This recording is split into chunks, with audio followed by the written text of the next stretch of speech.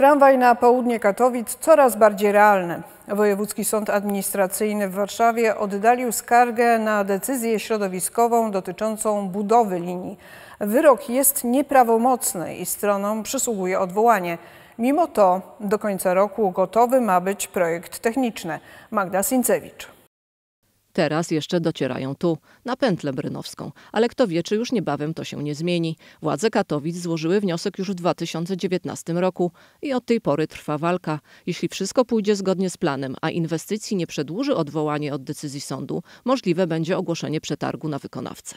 My w dalszym ciągu robimy swoje, czyli prowadzimy proces projektowania e, tramwaju na południe. Według tych e, ram czasowych, które mamy, to te procedury nasze projektowe powinny się zakończyć na początku przyszłego roku. Należy pamiętać, że decyzja Wojewódzkiego Sądu Administracyjnego jest nieprawomocna, zatem stronom przysługuje możliwość wniesienia kasacji do Naczelnego Sądu Administracyjnego. Generalna Dyrekcja Ochrony Środowiska decyzję środowiskową w tej sprawie wydała w sierpniu 2023 roku. Kilka miesięcy później została ona zaskarżona przez jedną z pozarządowych organizacji przyrodniczych.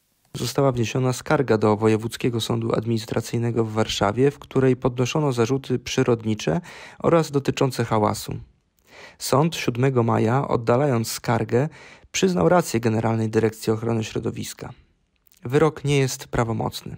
Decyzja o środowiskowych uwarunkowaniach uprawnia podmiot planujący realizację przedsięwzięcia do występowania o następcze decyzje inwestycyjne, innymi decyzję o pozwoleniu na budowę czy decyzję o zezwoleniu na realizację inwestycji drogowej. Nie była to pierwsza skarga dotycząca tramwaju na południe. Kilka lat wcześniej, bo we wrześniu 2020 roku, wydała ją Regionalna Dyrekcja Ochrony Środowiska w Katowicach. Wówczas także została ona zaskarżona przez organizacje przyrodnicze. A co budowa tej linii da mieszkańcom? Bardzo dużo, bo są takie korki, że fatalnie się jeździ. Jeszcze, jak jeszcze ten pociąg uruchomią, to będziemy do pracy jeździć dwa razy dłużej. Jestem za uruchomieniem linii tramwajowej y, na południe.